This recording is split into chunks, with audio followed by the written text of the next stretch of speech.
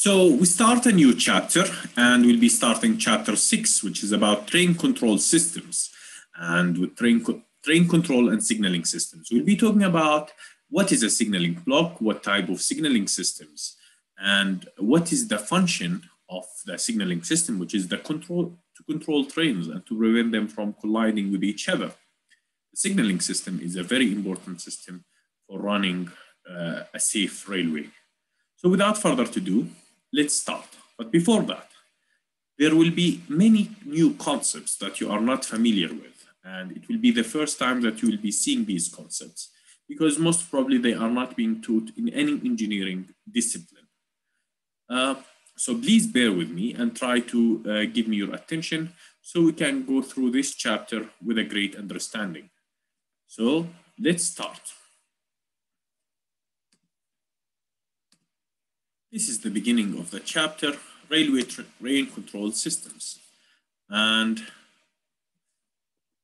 of course, the, in this chapter, I will be doing an introduction to the railway signaling. Then I will be talking about timetable and time graph development. Then I will talk about different signaling systems types. I will talk about ETCS and advanced signaling systems. And this is part of the European Railway Traffic, uh, the Euro uh, ERTMS, European Railway Traffic Management System. Then I'll talk a, a little bit about axle counters and track circuits. Finally, with communication-based train control, CBTC, and I will end with electromagnetic compatibility. I hope this, uh, this uh, uh, chapter will give you a proper introduction to the world of railway signaling. So of course, this is the legend Feras Naser, also known as leader Feras Naser. And uh, why I'm saying that I have a BSc in civil engineering, MSc in railway systems engineering, many innovations in railways and outside railways. Many of them did not see the light, but I'm doing this course after 10 years of leaving the MSc, hopefully to build the next generation of railway engineers. This is some pictures, and here we go. Introduction to railway signaling. This is the first section, and in this section we'll talk about railway signaling as a system. We'll talk about the signaling block, and then signaling systems and operations enhancement systems. So the railway infrastructure as a system, or the railway train control as a system, this should be train control. This is control. It has the following function. It has the function of control. So railway signaling and train control specification enter to enter to that function along with the current telecommunication infrastructure, the railway infrastructure, the operation specifications, and we, you should have natural resources, staff and management capabilities, supplier capabilities, and availability of funding to end up with a proper railway traffic and timetable. And the uh, railway traffic, this is what, uh, what people generate, and the timetable is what people use. They look at the next train will be at 8 o'clock, and they take that train. So this is, uh, so just to illustrate, to iterate on this, or uh, to uh, just to extend a little bit. So this is a, a way for looking at the uh, signaling and train control system as a system that has to interact with the rolling stock system, with the infrastructure system, with um, uh, with the operations, with the timetable, with the strategy. So how does these systems interact with each other is what you should be focusing on. And this is the theoretical framework you should be having within your mind. But the main function of the traffic control system is to uh, is control to control trains and to make sure that they do not collide with each other and they run uh, on table uh, they run the timetable on time uh, now I will be talking about the signaling block. What is a signaling block? And sometimes you say, what's a signal? Well, the easiest way to understand what's a signal is the same thing as a traffic signal. The difference between a traffic signal and a, a, a railway signal, the railway signal is uh, connected to a signaling block. And the signaling block is the area that is reserved for that signal. And the, the uh, to prevent trains from colliding with each other, you would have group of signaling block to uh, uh, before any trains can reach uh, the other.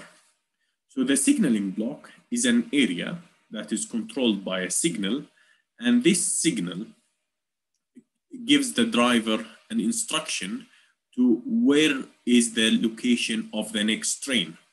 So here, the signal is green. The driver does not know where is the train, but he knows that he can pass. When he pass here, he see a double yellow signal. He knows that the next train is two signaling blocks away. So when he knows that he, the next train is two signaling blocks away, he starts decelerating his speed to make sure that he would not be able to catch with the other train.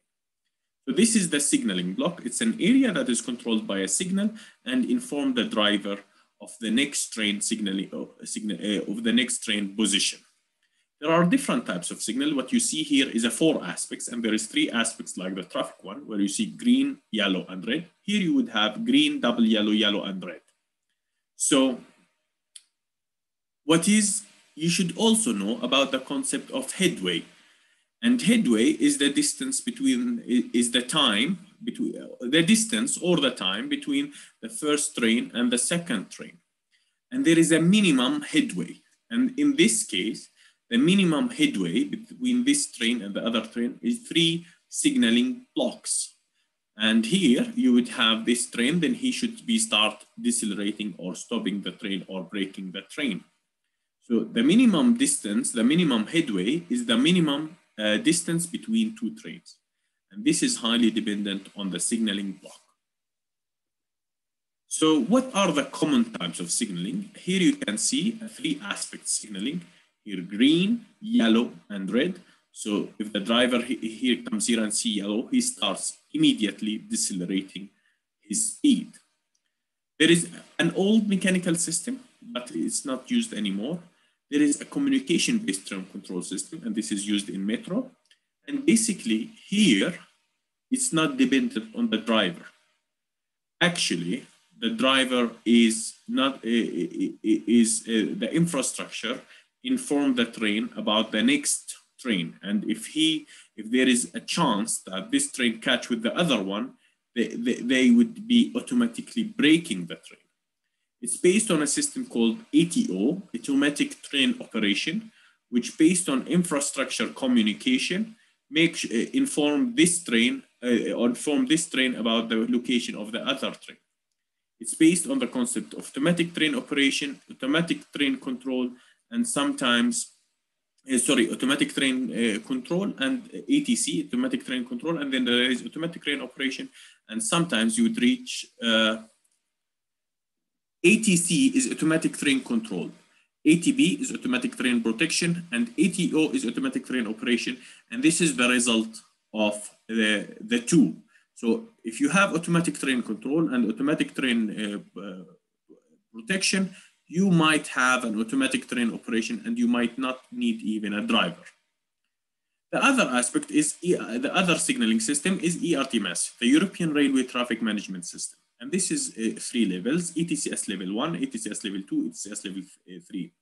In level one, you would, the, the train would be communicating with the infrastructure through balises, very much similar to the ATO, but also the, he would, uh, the driver would be seeing signals can be visual signals uh, on the infrastructure or they can be in-cab signaling.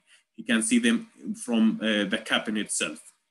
But the balises inform the train about the location of the next train. And in ETCS level two, there will be no physical infrastructure and the balises will inform the train about the next train. In ETCS level three, there will be a very small minimum headway because it will be a moving block as it will not be dependent on balises as much dependent on the telecommunication uh, GSMR on the telecommunication network between the trains and each other. So the train will be uh, communicating with the mast uh, through GSMR and the GSMR uh, will tell the, this train where is the next train. So to just follow through on automatic train operation, here you can see a metro, a metro train, and that's another metro train. This metro train, uh, it, ha it has to go through three ATO spots, ATO 1, ATO 2, ATO 3, uh, 3. And if this train is in a red area and passes an ATB, automatic train pro uh, protection, and he will be automatically stopped. so, because this means that your distance from the next train is uh, uh, not acceptable or, or, or, or, is higher than the minimum headway. So the ATO spots will inform this train about the location of the next train. But with the ATB, they will make sure they will stop this train before catching the other train, even if the driver does not want that.